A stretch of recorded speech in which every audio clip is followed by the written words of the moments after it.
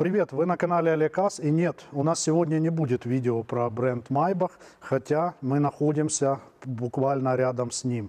А, Сегодня у нас речь пойдет о таком производителе, как Экспресс Верке. Э, Конечно же, вы спросите, а какое имеет отношение Майбах и Экспресс Верке? Потерпите, в этом видео все узнаете.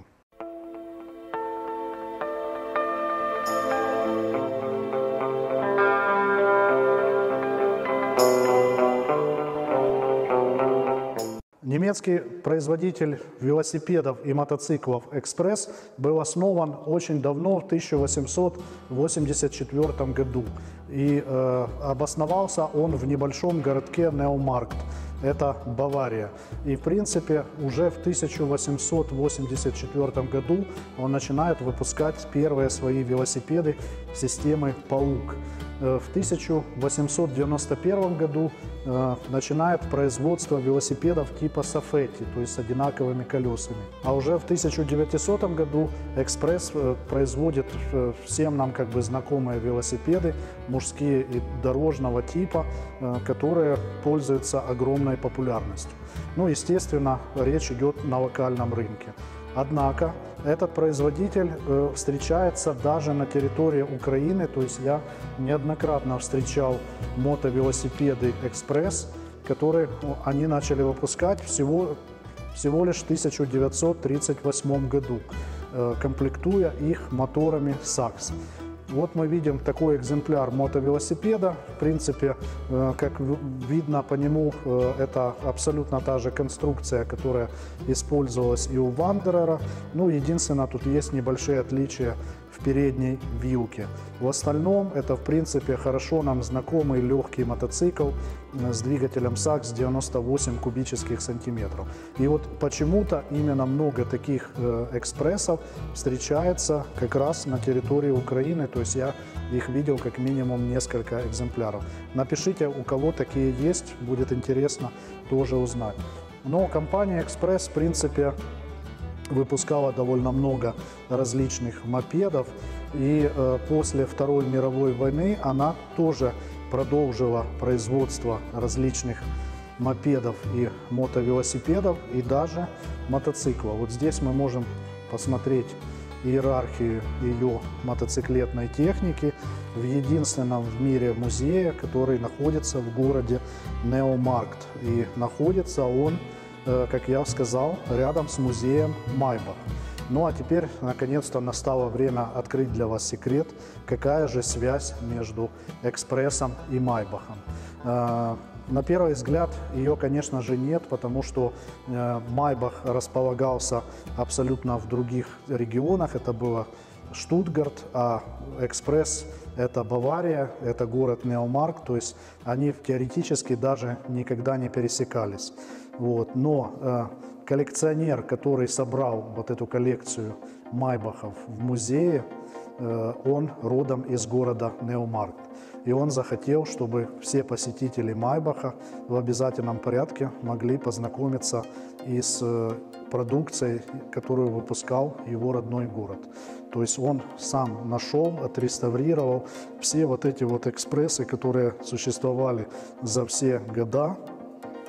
И, в принципе, расположил их на территории фабрики «Экспресс», э, которая не работает уже с 1959 году. То есть музей Майбах находится на территории фабрики «Экспресс», и поэтому, собственно, мотоциклы «Экспресс» здесь не выглядят лишними даже рядом э, с самим Майбахом. Ну а как же развивалась история с «Экспрессом», можно проследить на примере вот данных экземпляров.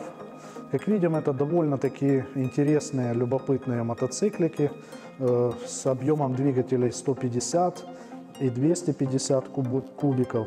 И э, владельцы фабрики «Экспресс Верке» э, пришли к выводу, что будущее будет за вот такими легкими мопедами и инвестирует даже в разработку собственных двигателей «Экспресс», э, которые получили название S51 и S52. Это вот эти вот педальные моторчики. Инвестиции были довольно существенными.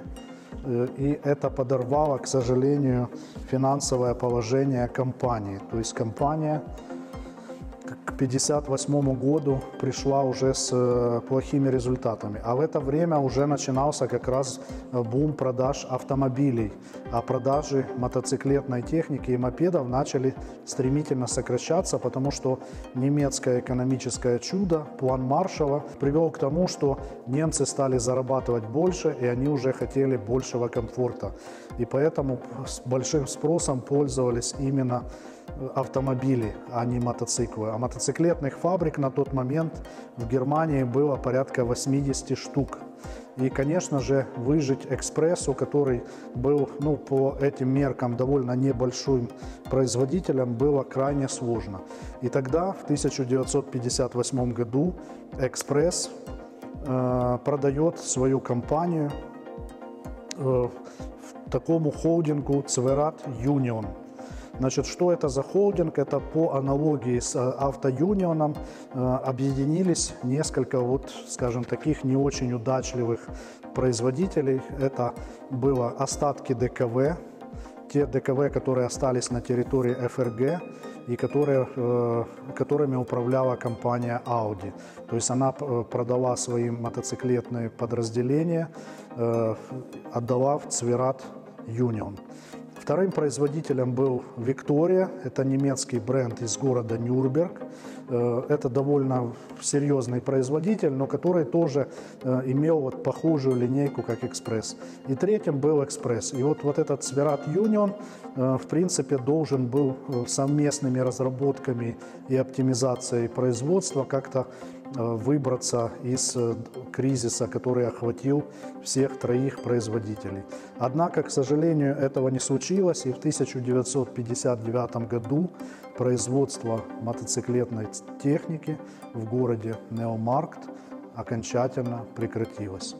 И эта фабрика, на территории которой мы сейчас находимся, с тех пор э, уже не выпустила ни одного мотоцикла. Но зато она здесь их сохранила, и мы имеем возможность посмотреть, какие же, какую продукцию выпускал экспресс Верка на протяжении своей долгой истории. О том, что мы находимся непосредственно на территории фабрики, говорят вот эти старые станки с ременным приводом э, от вала, который проходил э, под крышей и передавал крутящий момент на каждый непосредственно станок. То есть э, здесь решили сохранить эту производственную атмосферу еще 50-х годов и раньше, для того, чтобы когда-нибудь производство сюда все же вернулось. Подписывайтесь на канал. Вот такая у нас сегодня была история. Пишите, кто знал такие бренд, э, такие мотоциклы, как Экспресс, э, кому они попадались. И э, пишите свои вопросы по поводу истории мотоциклетного производства Германии. Буду стараться на них ответить.